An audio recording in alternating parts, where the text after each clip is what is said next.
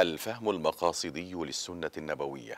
إعداد الأستاذ الدكتور محمد مختار جمعة وزير الأوقاف.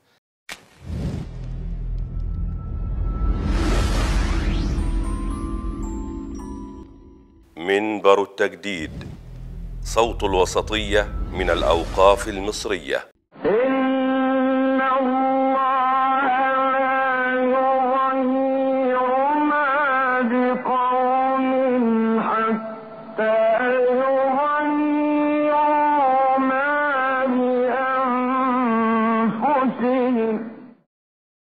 النموذج الرابع فهم أحاديث صدقة الفطر.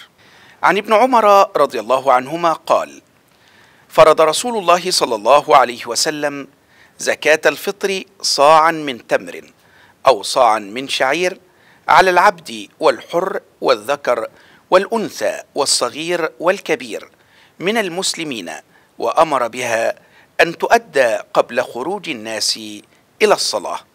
وعن أبي سعيد رضي الله عنه قال كنا نخرج زكاة الفطر صاعا من طعام أو صاعا من شعير أو صاعا من تمر أو صاعا من أقط أو صاعا من زبيب. وعن عمرو بن شعيب عن أبيه عن جده أن النبي صلى الله عليه وسلم بعث مناديا في فجاج مكة ألا إن صدقة الفطر واجبة؟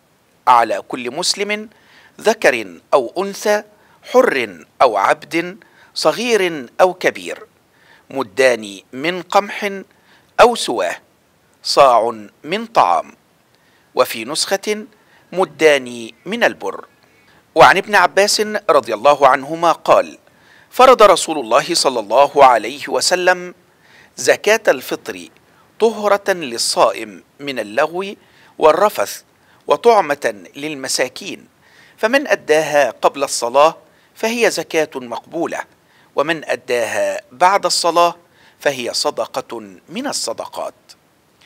وعن نافع عن ابن عمر رضي الله عنهما قال فرض النبي صلى الله عليه وسلم صدقة الفطر أو قال رمضان على الذكر والأنثى والحر والمملوك صاعا من تمر أو صاعا من شعير. فعدل الناس به نصف صاع من بر. فكان ابن عمر رضي الله عنهما يعطي التمر. فأعوز أهل المدينة من التمر فأعطى شعيرا. فكان ابن عمر يعطي عن الصغير والكبير حتى إن كان ليعطي عن بنيه وكان ابن عمر رضي الله عنهما يعطيها الذين يقبلونها.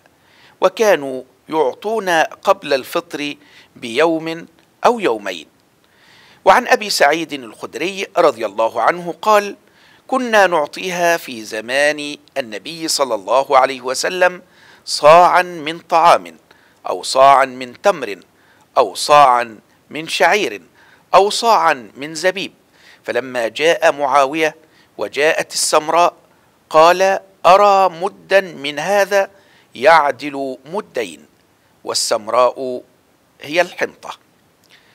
وفي رواية مسلم عن أبي سعيد رضي الله عنه قال كنا نخرج إذ كان فينا رسول الله صلى الله عليه وسلم زكاة الفطر عن كل صغير وكبير حر أو مملوك صاعا من طعام أو صاعا من أقط أو صاعا من شعير أو صاعا من تمر أو صاعا من زبيب فلم نزل نخرجه حتى قدم علينا معاوية ابن أبي سفيان حاجا أو معتمرا فكلم الناس على المنبر فكان فيما كلم به الناس أن قال إني أرى أن مدين من سمراء الشام تعدل صاعا من تمر فأخذ الناس بذلك وفي لفظ كنا نخرج زكاة الفطر ورسول الله صلى الله عليه وسلم فينا عن كل صغير وكبير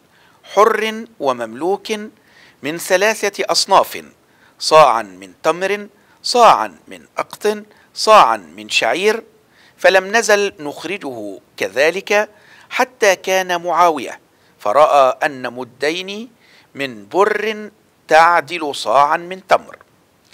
وروى الإمام البخاري في صحيحه عن معاذ بن جبل رضي الله عنه أنه قال لأهل اليمن ائتوني بعرض ثياب خمص أو لبيس في الصدقة مكان الشعير والذرى أهون عليكم وخير لأصحاب النبي صلى الله عليه وسلم بالمدينة. والأصل في الصدقة إغناء الفقير وتحقيق صالحه وإذا كان أهل العلم يؤكدون أنه حيث تكون المصلحة.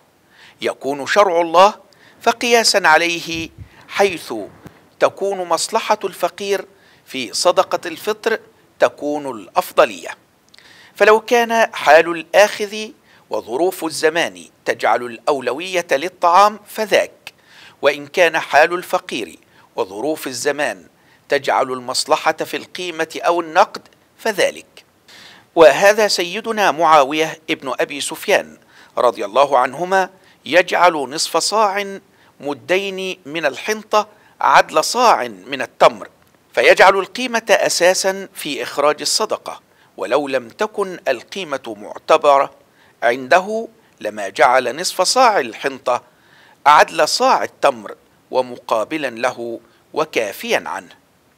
وهذا سيدنا معاذ بن جبل رضي الله عنه يراعي مصلحة المعطي والآخذ معا فيقبل من أهل اليمن الثياب بدل الذرة والشعير ويعقب بقوله ذلك أيسر لكم وأنفع لأصحاب رسول الله صلى الله عليه وسلم بالمدينة فراعى المصلحة المعتبرة والمقصد الاسمى وهو من هو بين الصحابة في الرأي والعلم والاجتهاد والنظر.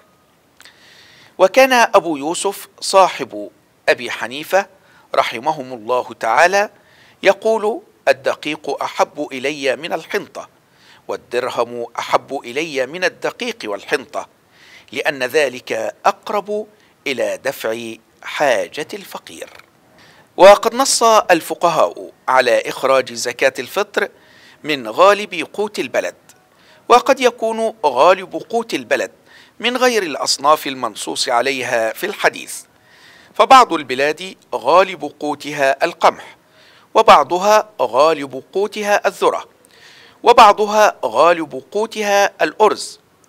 فإقرار الفقهاء لغالب قوت البلد إنما هو للتيسير على مخرج الزكاة ومراعاة مصلحة الفقير في آن واحد. على نحو قول سيدنا معاذ لأهل اليمن ذلك أيسر لكم وأنفع لأصحاب رسول الله صلى الله عليه وسلم بالمدينة.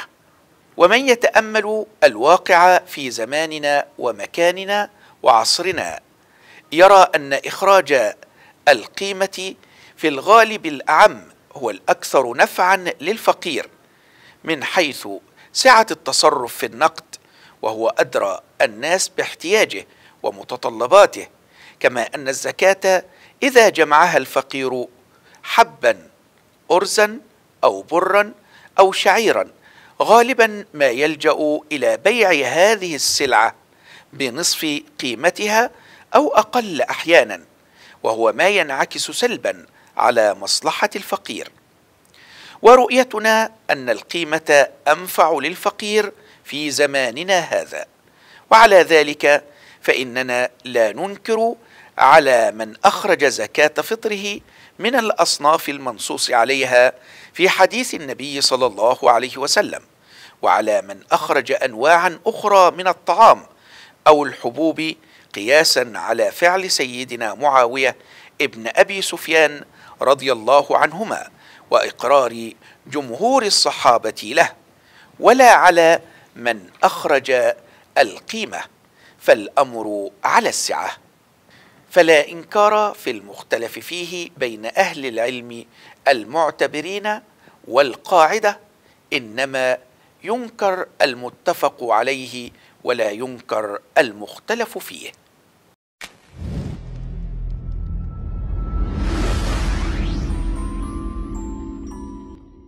منبر التجديد صوت الوسطية من الأوقاف المصرية.